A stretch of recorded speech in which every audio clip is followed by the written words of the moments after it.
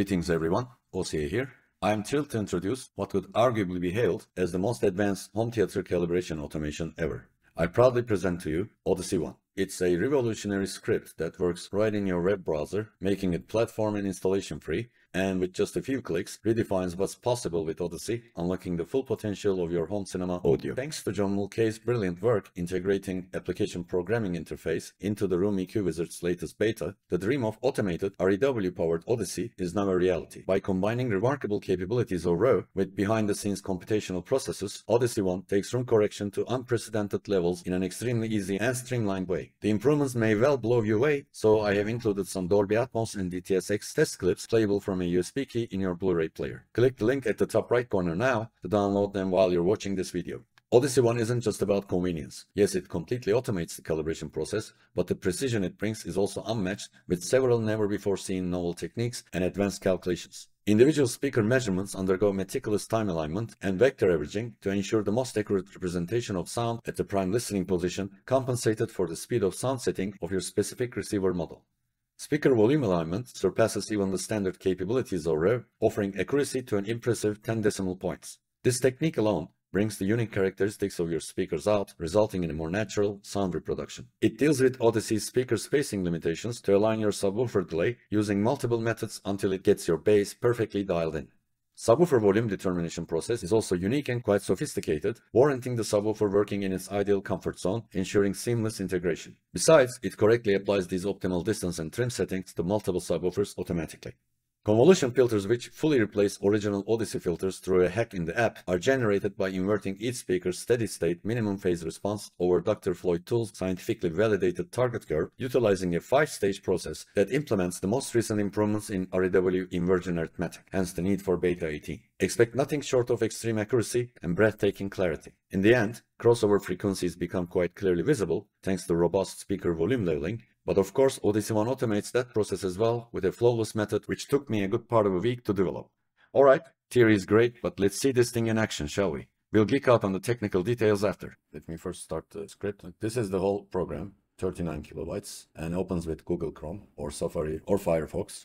The instructions are short, only 10 of them, and that's basically all you need to know. Download the latest REW Beta 18 or above. I provided the download link here already if you don't have it.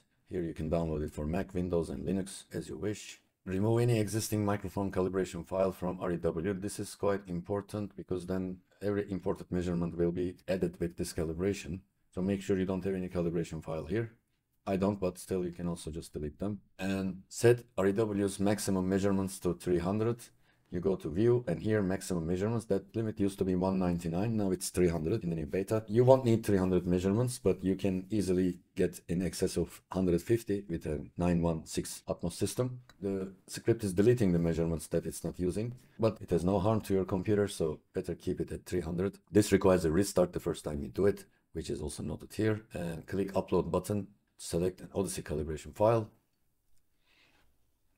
Now let's First try a or a 3D one.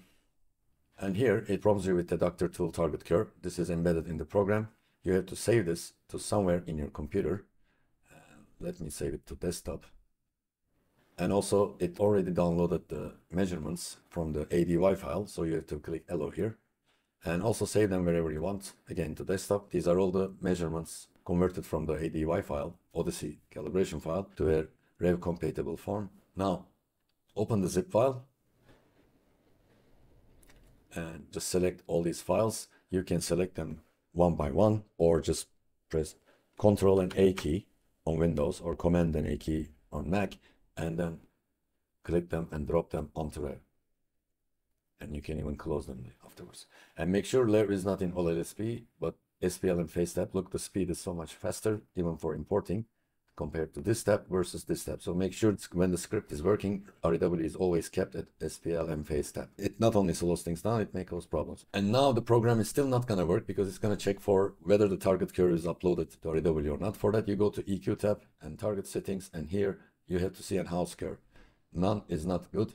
So you go to desktop where you save this file Dr. Toole test and just upload it. Do not try to upload your own house curves here, guys, for two reasons. First, this house curve is excellent for 75 dB where Audyssey is measuring every speaker. It's uh, scientifically tested and the crossover frequency determination process makes use of very sophisticated algorithms based on this curve. So if you change this, it won't get your crossover frequencies right. And this has enough bass for the Harman Kardon lovers out there. And what else? Navigate the EQ tab. And here's the instructions we just did are written. No need to extract zip file will be automatically. Yeah, Audyssey measurements will be correctly imported in order, the new REW source them alphabetically. So C center speaker is always at the top, which is also important because it bases all the speaker distance measurements on the C speaker. And the indices should be sorted. Speakers should be grouped under the same name. Actually, this is the default import. Unless you play with them, delete some of them or change the sorting like this, then you won't have any errors. Otherwise, the program will warn you that measurements don't match. Animate measurement list, yes, this might slow things down. So untick this one. And this is all the settings you ever need.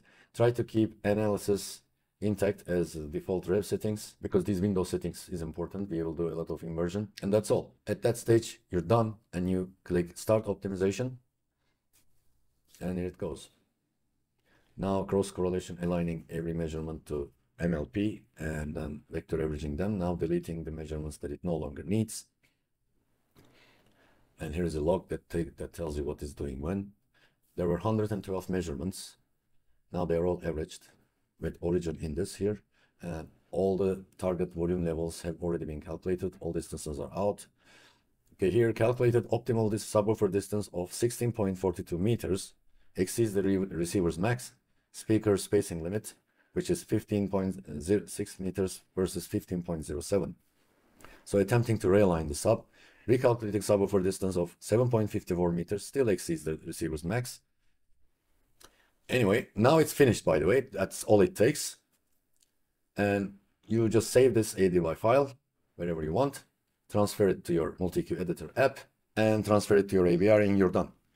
Your Audyssey calibration is optimized already within seconds. And I was reading this part, so subwoofer distance is again reset at 4.02 meters and it's finally within the receiver speaker spacing limits. Okay, the speaker spacing limits with multiple subwoofers is a bit different. This also takes care of that. And these are the crossovers that it determined. Pretty solid. And if you want to see what it did, let's adjust res size such that speakers align with each other. Yeah, this is good. Now clear selection. So these are the final after correction speaker response results. As you can see, you can clearly see the crossover frequencies of group of speakers. This guy has larger fronts and two different speakers and some surround speakers all the same. So look at the crossover levels. And this is because the volume level is calibrated perfectly. Okay, these are 1, 1, one octave band smoothed, but even if you unsmooth all of them, this line here is still flat, as you see, and this is Dr. Toole's curve. So this is the calibration that this one achieves. Look at these graphs and responses. What else can I say? And uh, filters, which have the names of the speakers so that they match correctly in the calibration file. If you look at them, they are quite complicated, but none of them exceeds 20 dB because it's the Audyssey limit. Audyssey will cap if anything goes beyond that. And they are pretty powerful filters. Now, maybe in the JSON file, I mean, this is already finished. All it will take you is one minute, but where is this one? Is the optimized one, right? Yeah. Dynamic EQ off, dynamic volume off, and it puts target curve 1. This is high frequency roll of 1. Even if you select 2, it's going to switch to 1 because it has filters of 3283 points, custom target curve points for every speaker except for the sub. And after 300 hertz, it has this starting from 3000 hertz anti-high frequency roll-off addition to every filter. You won't see it here, but it's added automatically to the ADY file and the subwoofer gets a bit less and it doesn't get this anti-roll-off obviously and it cuts at 250 all speaker levels distances are as found out in REW adjusted mid-red compensation for speakers is turned off. Custom speaker type, custom crossover, and here custom and speaker connect are correctly assigned. And if you had trimmed down, because I have seen it happen in many ADY files, the frequency roll of range, if you have curtained it, it will bring it back to 20,250 for subwoofer. This is basically all the settings it's going to touch in a single subwoofer file. You're still advised to use the original Audyssey calibration file before you fiddle with it for safety, but it will take care of everything that it needs to. Um, 300 meter per second limit was also taken care of. As you see, the first speed of sound has been automatically set to 343 for your AV receiver model, then on ABC 8500H. And if you think this setting is incorrect, please notify me. You can write into comments. I mean, at the moment, there's a list of, let me, how can I show it to you? Maybe like this. Yeah. There is a list here of all the models that I know to have 300 meters per second speed limit. So if yours uh, is not here, add to this list and also please inform me so we can update this as quick as possible with all the correct model names. It doesn't make an audible difference anyway, because the program is using time rather than distance.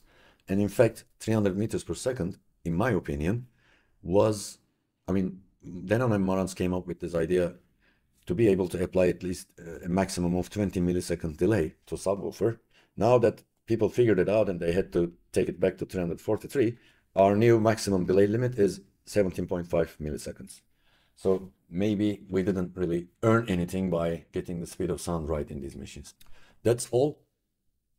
This script actually can run up to two times faster than this, but I slowed it down. Better safe than sorry. This uh, fetch APIs is a work in progress. And I mean, I did my best to safely fetch every data. But if you do it too quickly, some calculations look like they have been done correctly, but they might not.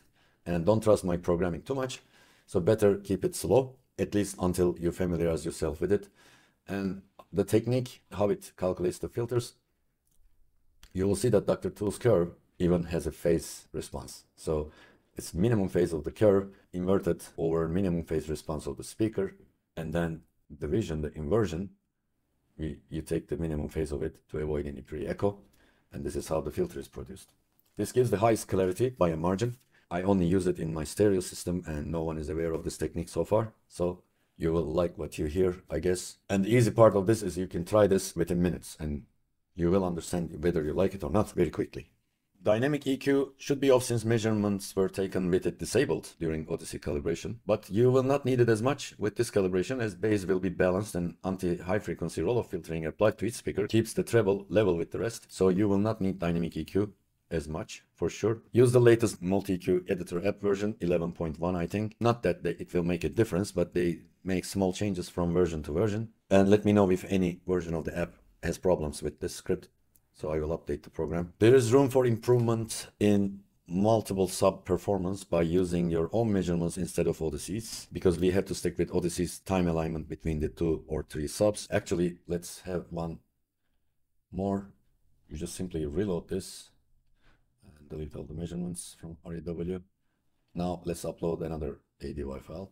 Thanks to the subscribers, I'm not short of ADY files as you can see. Uh, where is this 3 subwoofer one? Okay, now upload the ADY file. I'm not gonna save the target curve again, it's already there. Uh, you have to allow this. Measurements already taken. Open it, Control A, and drop it onto REW and close. So 96 measurements. Start optimization. Speed of sound set. Applying target curve. Optimization started. Transposing measurements from eight different microphone positions. Cleaning up processed measurements. I'm not sure if you can read them, so I'm reading them.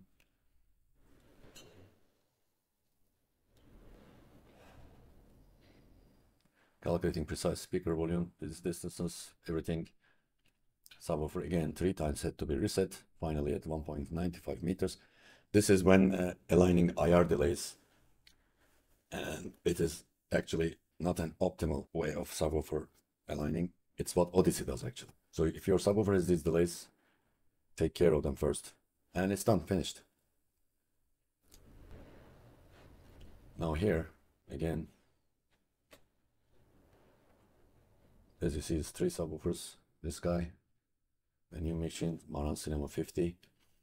And here you will see that the maximum distance limit is dropped down to 4.02 meters instead of 6. Reason being, because Audyssey, when adjusting these subwoofers between each other, which you cannot change, I mean, you can randomly change, of course, but you, the response that you receive here for subwoofer will not be correct because it's the total response of the, these three subwoofers measured by Audyssey.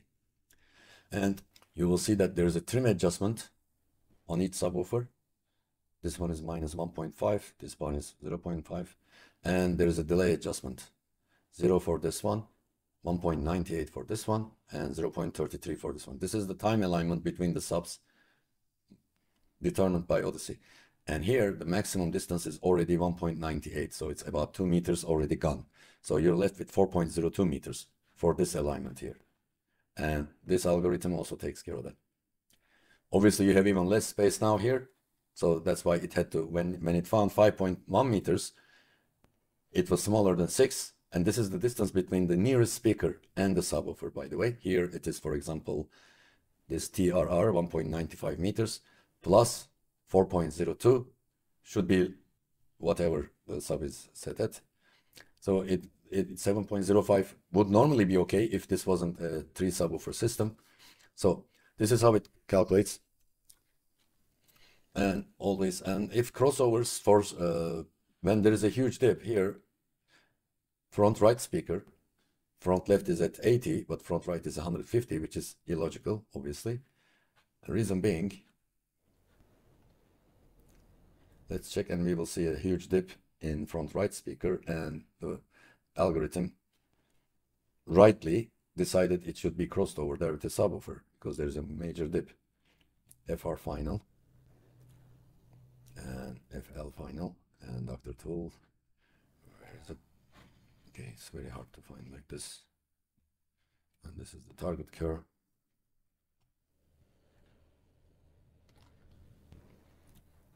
Yeah, because if R has this dip here, it's thinking that it is having, a, it needs a crossover here because there is too much. This dip is 2 dB. And I could have fixed that kind of thing, but luckily the app, when the, a pair of speakers has different crossover rates, it automatically sets the lower rate for both of them. So you don't have to deal with this. But just know that one of the pairs is different, largely different than the other. It is because you have a dip there, you should be taking care of the placement of your speakers. Your, your front left and right here with this guy are not placed symmetrical and front right has major dips that front left doesn't. That's Audyssey One in a nutshell. Leave any questions in the comments below and enjoy your calibration. See you in the next video.